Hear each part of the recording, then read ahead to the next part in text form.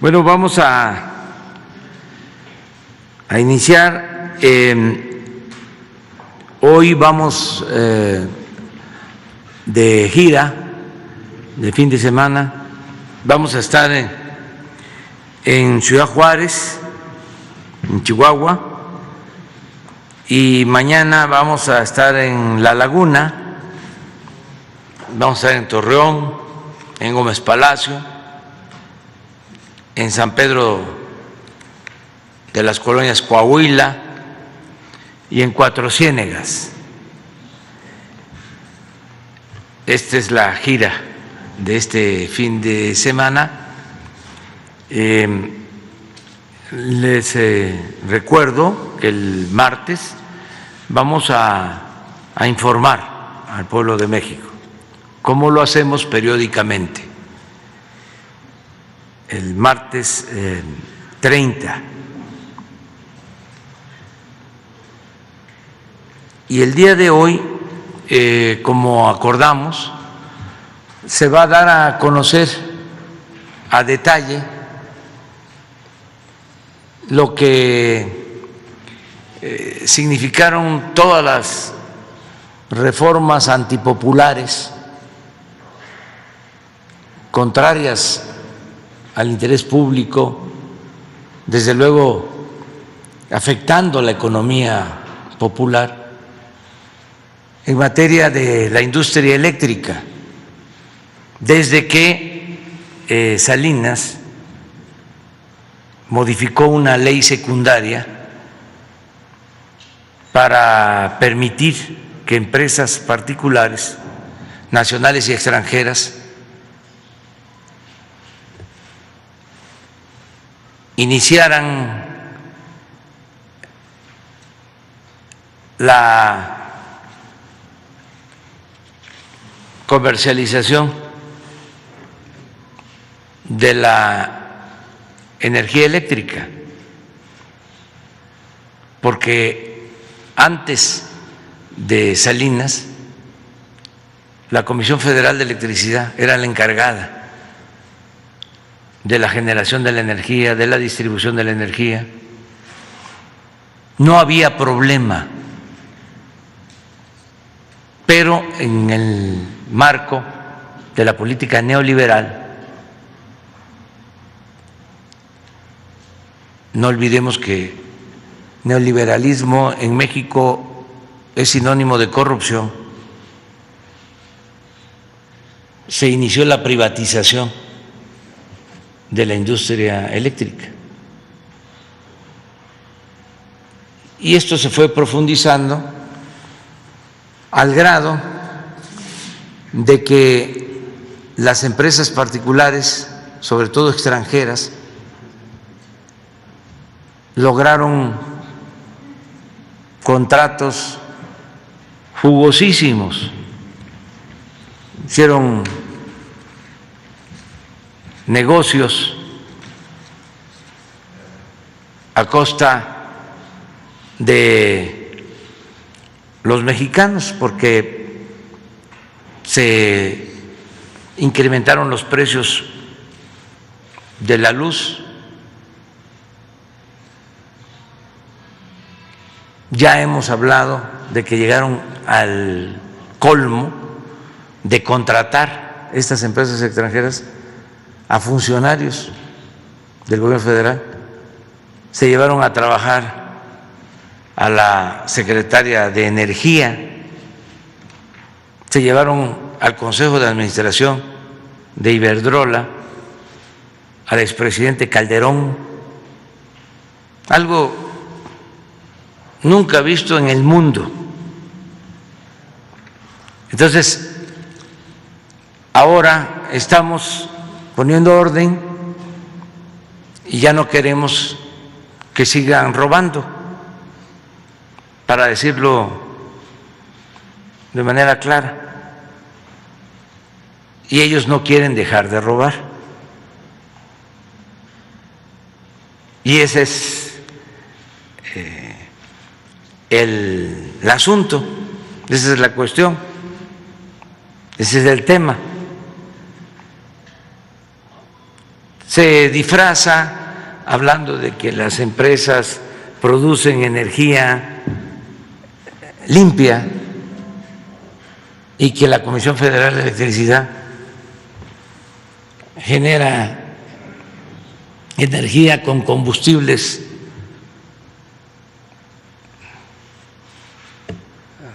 contaminantes, que ellos son la modernidad, son muy cuidadosos del medio ambiente, les preocupa bastante el medio ambiente. Entonces todo esto pues es una simulación, es un disfraz. ¿Cuál es el resultado? ¿Cuál es la conclusión? De que por todas esas modificaciones que se hicieron a la Constitución, a las leyes, aquí abro un paréntesis para recordarles que cuando se aprobó la reforma energética repartieron sobornos a legisladores. Y es un asunto que está en manos de la Fiscalía. Cierro el paréntesis. La esencia es de que las grandes corporaciones empresariales y las cadenas comerciales pagan tarifas más bajas que lo que pagan los consumidores.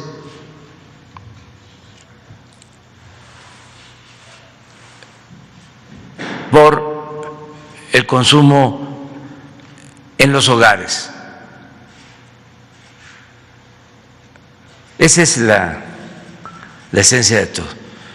Y consideramos que esos subsidios que se tienen que pagar con dinero del pueblo deben desaparecer, que es una injusticia que estemos utilizando dinero del presupuesto para subsidiar a las grandes corporaciones empresariales o comerciales. Entonces, como no quieren perder esos privilegios, acuden a jueces y buscan ampararse y tienen el apoyo de todos los medios de comunicación, con honrosas excepciones, tanto de México como del extranjero.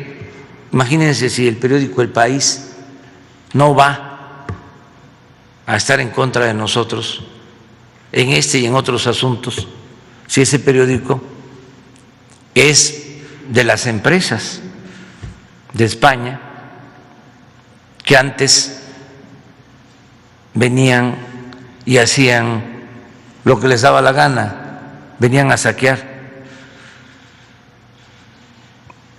veían a México como antes, como tierra de conquista. Entonces, les ofrecemos disculpa, pero no vamos a permitir que sigan saqueando. Y ojalá y nos comprendan.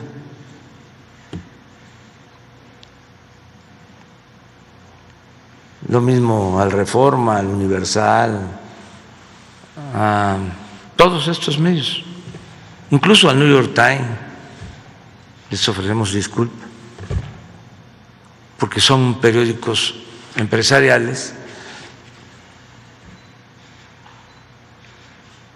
que han olvidado la ética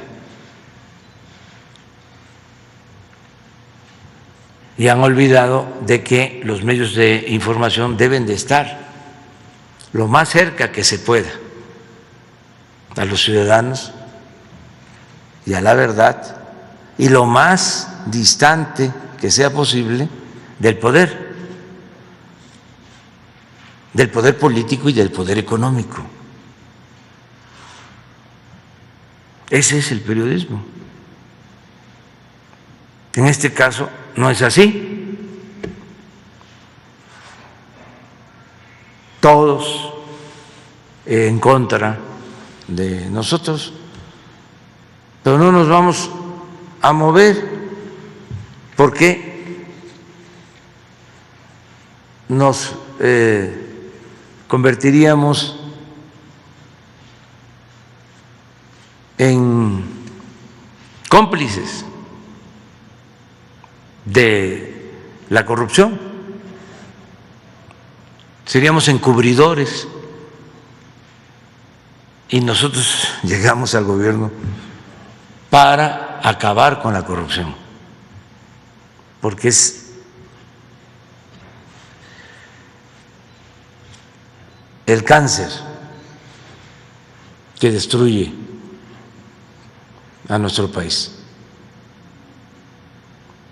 Es, lo he dicho eh, varias veces y lo repito, es la peste funesta, peor que la pandemia. Estamos convencidos de que es el principal problema de México, la corrupción. No vamos, por eso, a dar ni un paso atrás. Si seguimos combatiendo la corrupción, va a salir adelante el país. De eso depende, de acabar con la corrupción. Aquí vuelvo a decir lo que comento, lo que comentaba desde hace muchos años, en la campaña, decía yo. Quieren que les eh, diga en poco tiempo, yo que no hablo de corrido, quieren que les diga en lo que tardo parado en un solo pie ¿Cuál es nuestro plan? Acabar con la corrupción. Eso es todo.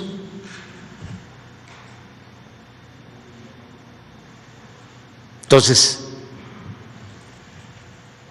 vamos a explicar ahora, eh, le pedimos al director de la Comisión Federal de Electricidad, a los técnicos, que den una explicación a todos los ciudadanos, porque esto no lo sabía la gente, como los medios de comunicación estaban cooptados, para decirlo de manera elegante, el pueblo no sabía de todos estos enjuagues, desconocía muchas cosas, porque era nada más la versión del poder, no había otro este, opinión, tenían el control casi absoluto de los medios de información. Ahora no es así, afortunadamente. Ahora se garantiza el derecho a la información y se cuenta con las redes sociales benditas redes sociales. Yo recuerdo que cuando nos hicieron un fraude, creo que fue cuando la campaña del 12, el editorial del país fue Obrador, un lastre. Ya para entonces ya existían las redes sociales y me dio tiempo de contestar. A ver si buscas lo que contesté en ese entonces. En el, en el Twitter, en una de esas está. Pero ya de inmediato me pude defender antes no había posibilidad, porque se lanzaban, eh, calumniaban, difamaban agredían, linchaban políticamente y no había manera de defendernos. Esto lo repito y lo repito porque se ve como una situación normal el que ahora se tenga el Face, el Twitter, las redes sociales. A lo mejor para los jóvenes, pues sí, porque les toca a ellos utilizar estos instrumentos, pero antes no había nada.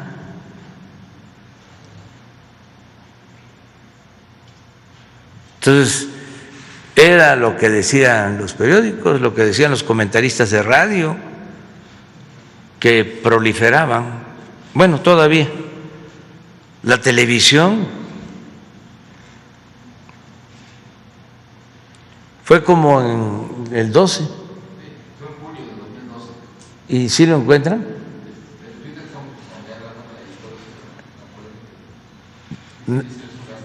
¿Y no lo tienen? El Twitter. A ver si. Fue después de la elección. Sí, que de manera oportunista, ¿no?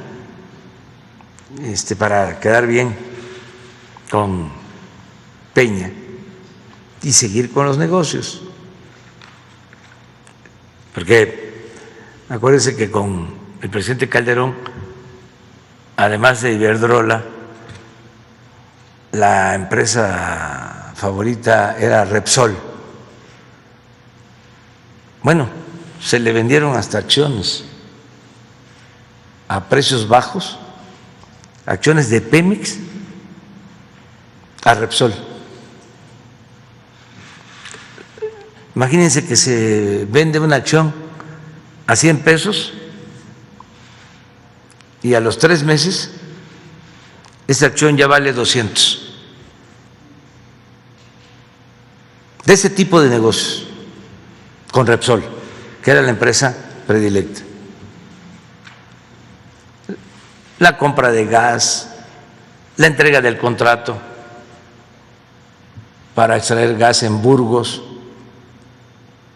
que fue un rotundo fracaso, pero sacaron muchísimo dinero. Y luego, ya con el presidente Peña, otra de las empresas predilectas era la que ganaba todas las OHL.